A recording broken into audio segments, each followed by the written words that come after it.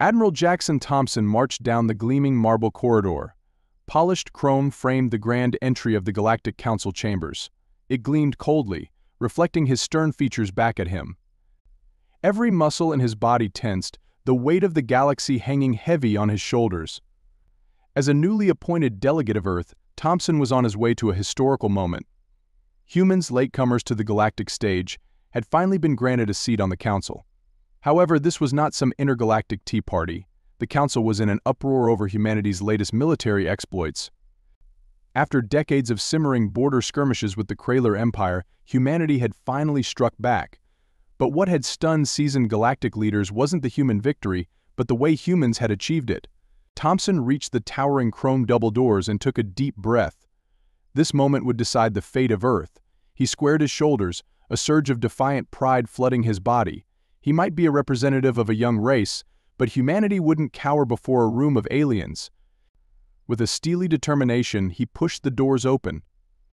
A wave of murmurs crashed over Thompson as he entered.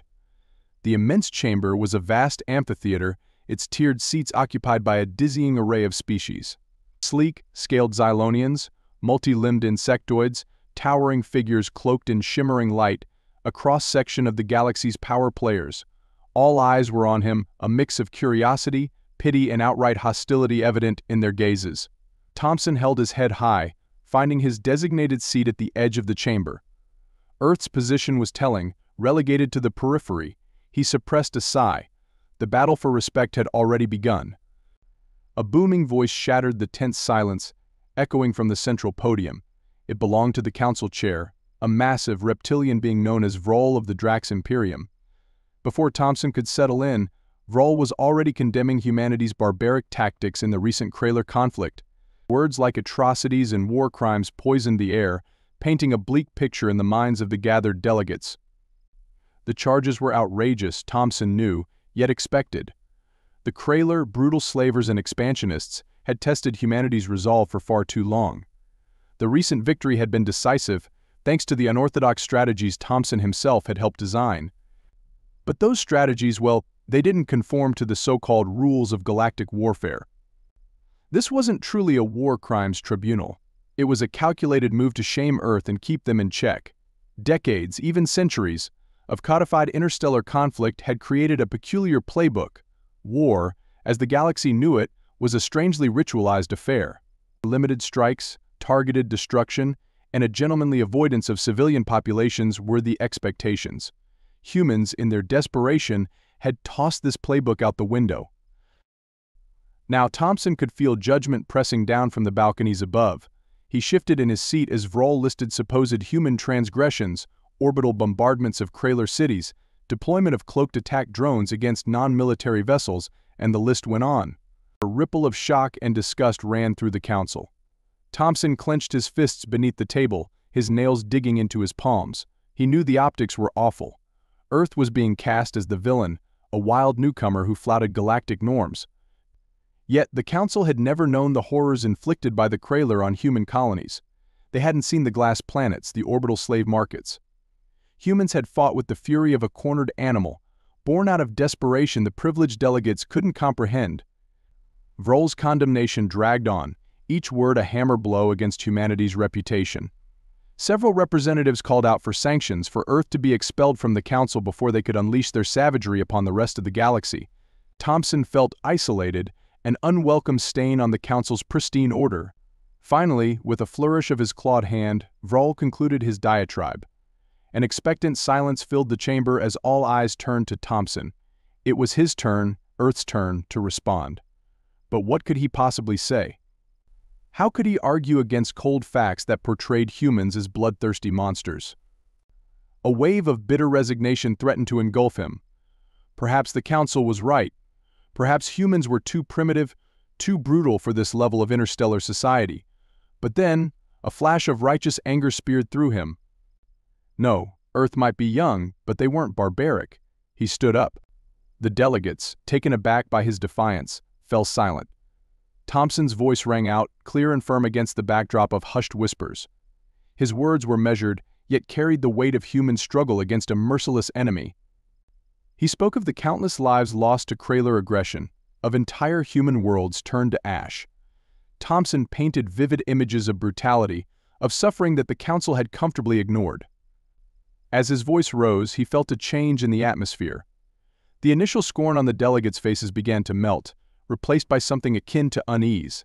Thompson spared no detail highlighting the horrors the council had conveniently overlooked. The Azalonians shifted uncomfortably, perhaps recalling their own troubled histories. The insectoids, usually unflappable, twitched their antennae in agitation. Then, Thompson shifted his focus. He didn't apologize for Earth's actions, nor did he shy away from acknowledging their brutal efficiency. Instead, he framed those actions as a matter of absolute necessity. Humanity had been pushed to the brink. There had been no room for rules when survival hinged on every single victory.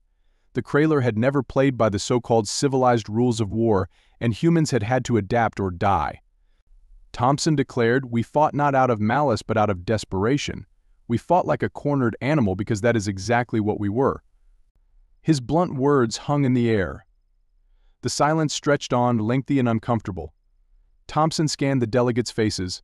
Some looked troubled. Others looked thoughtful. None held the same venomous hostility as before.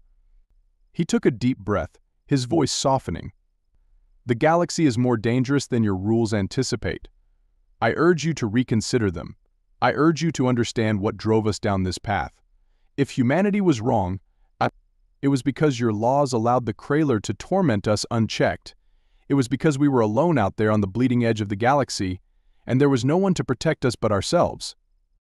With that, he sat down. The silence lingered as the council delegates digested his words. Thompson knew it would take time for his speech to ripple through the chamber's political undercurrents. Yet something had shifted. The Earth delegation was no longer an easily dismissed anomaly. They had forced the galaxy to confront the brutal realities at its frontiers, the places where their rulebook seemed woefully out of touch. Would it be enough? Would Earth find acceptance or censure? Thompson didn't know, but as the Council's first session adjourned, one thing was for certain, humanity wouldn't be ignored again. In the days that followed, the Galactic Council buzzed with activity. Thompson was surprised to find himself the focus of countless hushed conversations. Delegates of normally antagonistic species stopped him in the hallways, their faces a mixture of caution and curiosity. He'd become something of a dark horse, a disruptor who'd upset the comfortable status quo. Some tried to probe him for weaknesses, to find cracks in the human narrative. Others seemed genuinely curious, peppering him with questions about humanity's history and their philosophy on warfare. Thompson answered them with candor, never shying away from the harsh realities of their experiences. The more he spoke, the more he saw the complexities of the Galactic Council, the internal factions, the power games, the underlying prejudices. Unsurprisingly, the Krayler made a furious pushback.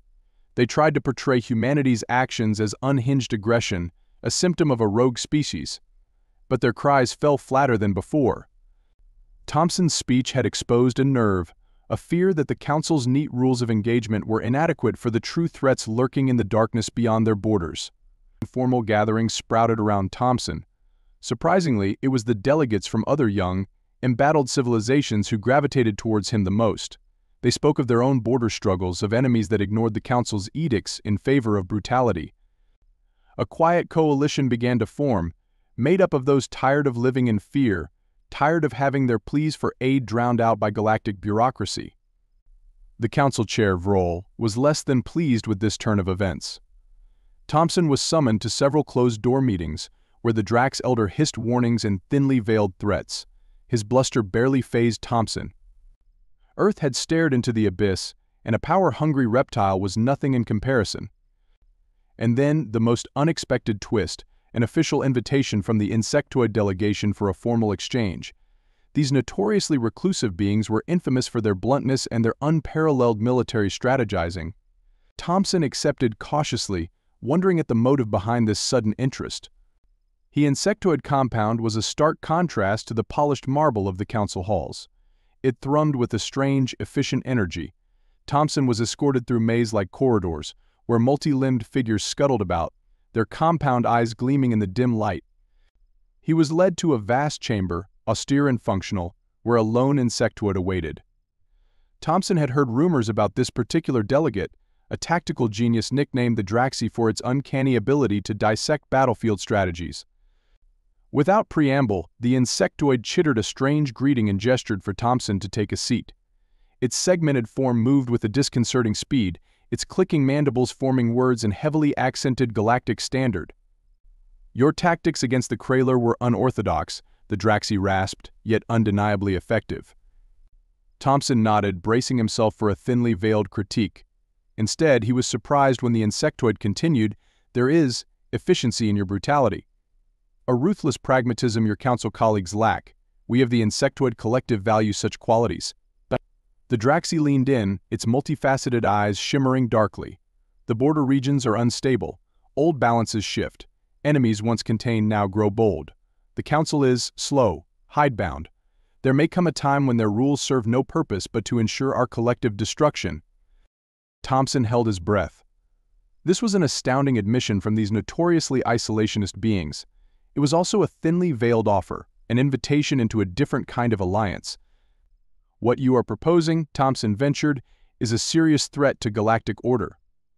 The Draxi chittered, almost like a laugh. Perhaps. But the existing order is already broken. It merely refuses to admit it. Your actions force the galaxy to open its eyes, however briefly, Thompson considered the implications. An alliance with the insectoids, with their reputation and tactical brilliance, would be a game changer. It could protect Earth, and perhaps it could become a much-needed catalyst for change. A difference that acknowledged the true threats beyond the stars, a change that prepared the galaxy for the enemies that didn't care for civilized rules of war. As he left the insectoid compound, the future of Earth hanging in the balance, Admiral Jackson Thompson knew one thing for sure, the game had just gotten a whole lot more interesting.